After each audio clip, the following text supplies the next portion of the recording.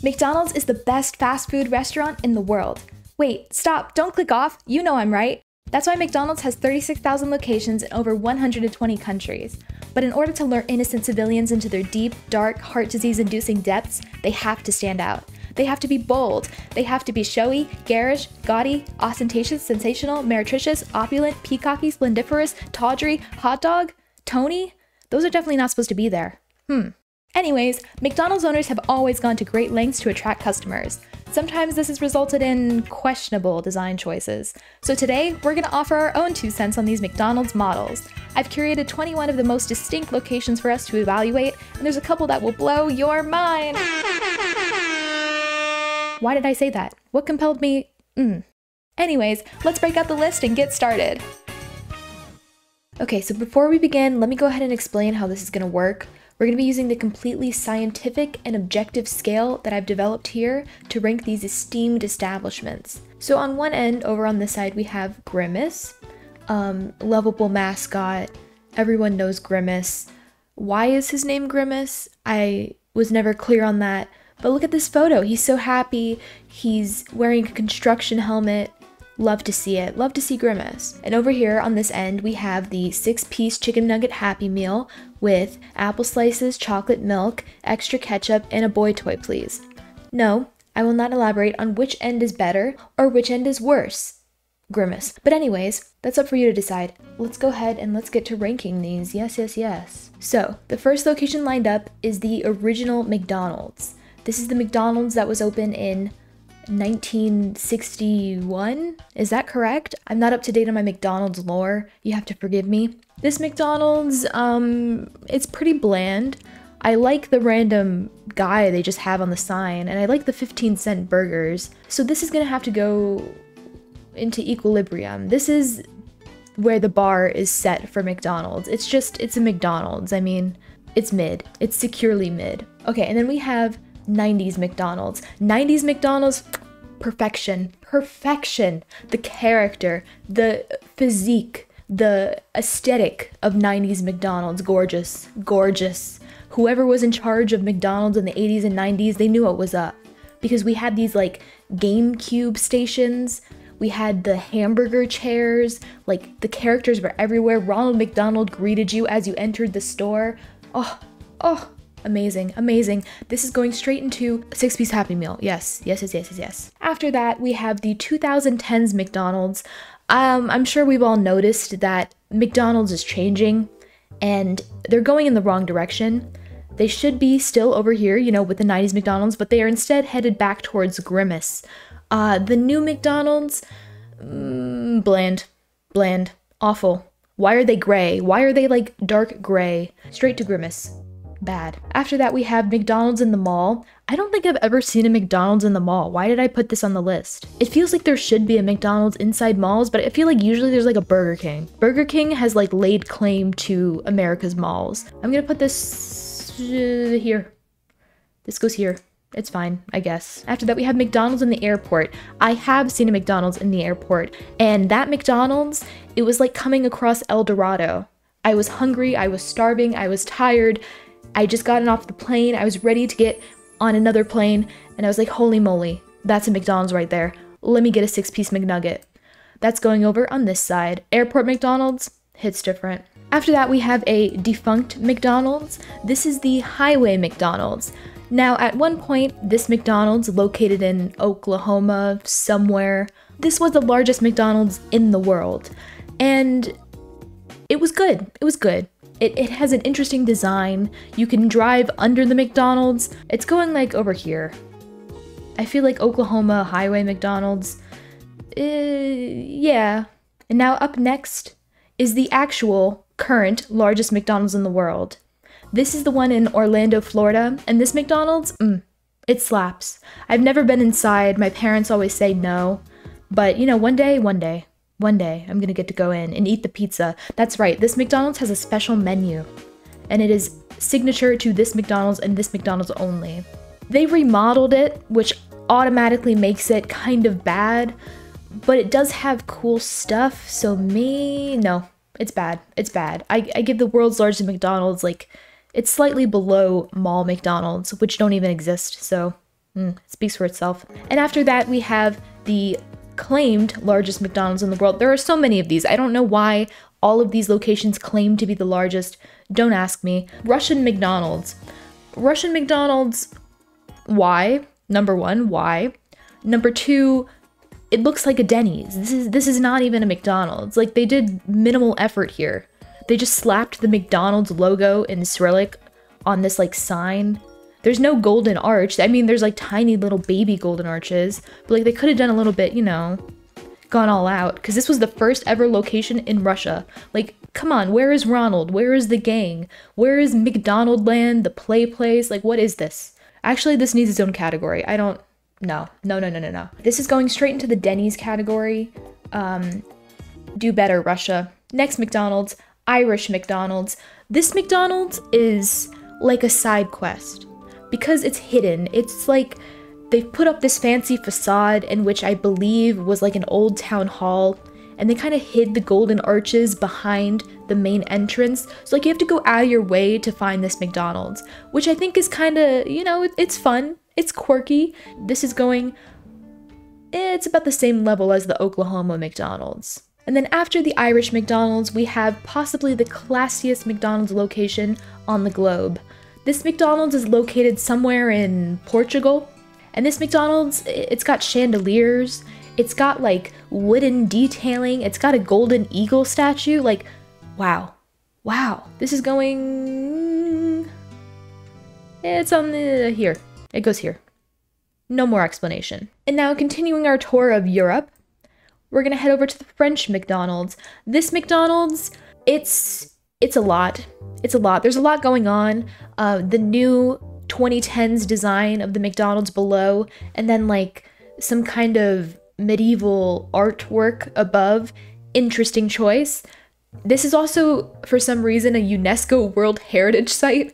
This McDonald's, which why again i have so many questions for all these people like why did they need to make these mcdonald's so flamboyant but anyways this mcdonald's it also has like a king carved out of wood in the middle which i'm pretty sure is like a trademark of burger king. Why are they advertising burger king at this french mcdonald's? This is this goes in grimace. This is all the way over on this end. And now that we're done with europe we're gonna head over to asia I don't know if everyone has seen these commercials, but for some reason, McDonald's in Japan was like desperate for people to work there. So they made like a mini anime commercial series trying to entice people to come work at McDonald's.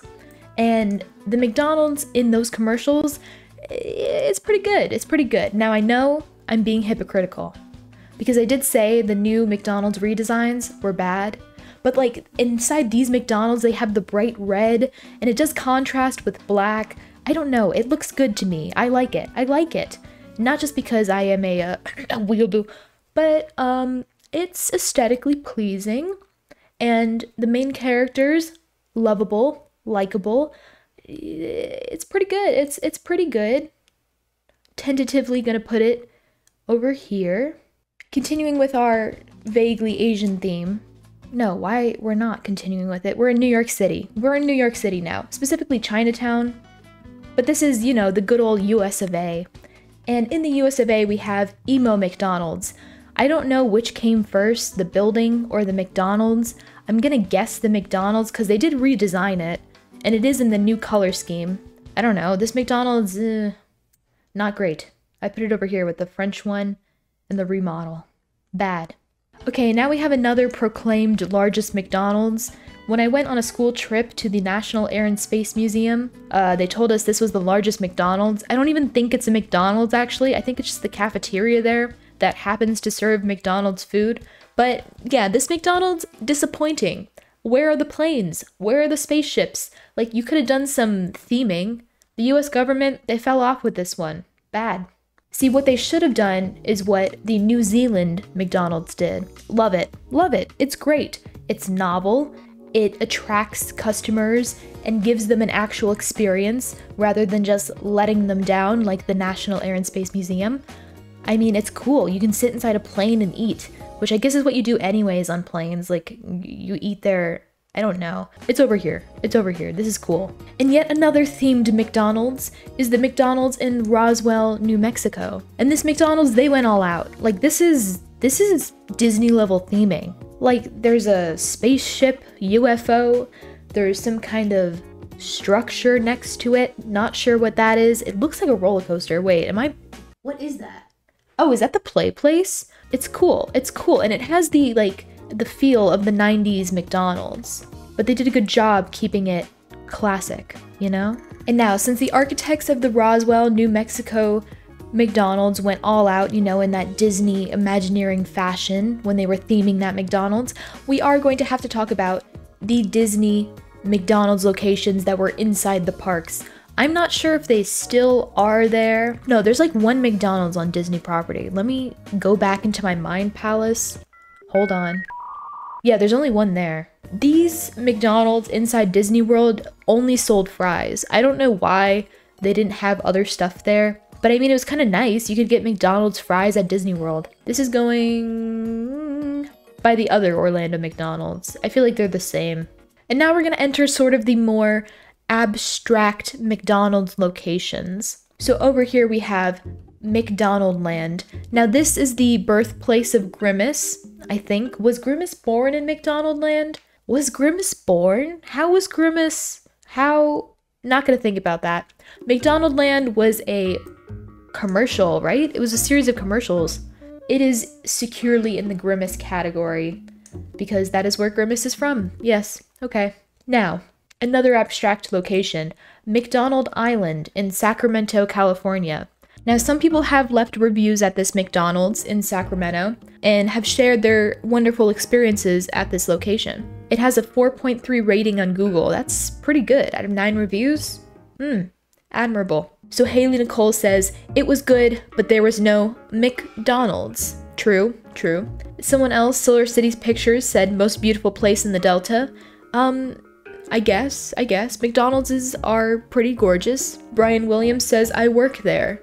Good for you, Brian. Lots of reviews, lots of reviews. Overall, 4.3 stars, eh, pretty good. So I give this, uh, it's in the Grimace category. It goes here. And now we have the more famous, more recognizable McDonald Islands, plural, of Australia.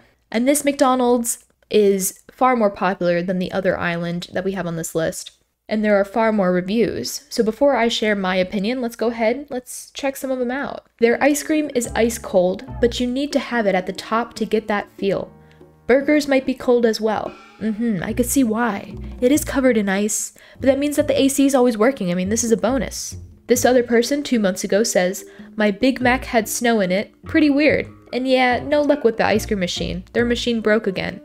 That's pretty sad, okay. But he gave it five stars. So I mean, it didn't hinder his experience too much. This person says three stars, burgers were too cold, ice cream machine was broken, but not too bad. Okay. Everyone's giving it pretty high reviews. And you know, ironically, I feel like this four star review average of this island is better than most McDonald's like ratings on Google.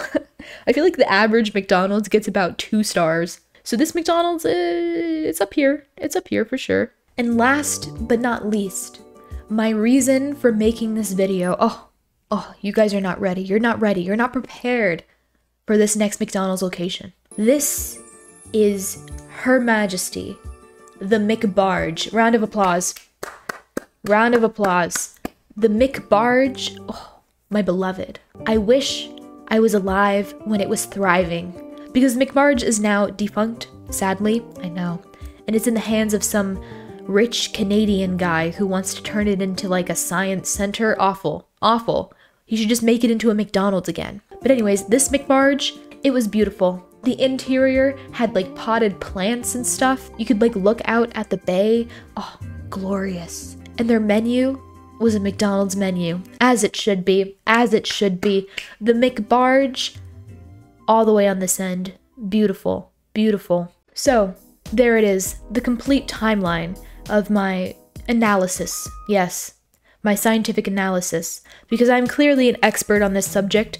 I've been to many a McDonald's in my time. I feel like all of us have been to many McDonald's. Leave a comment if you've been to a McDonald's before. Anyways, thank you all for enduring this confusing scenario with me. Uh-huh. Bye-bye. I what what what was the point of this? What what was the reason?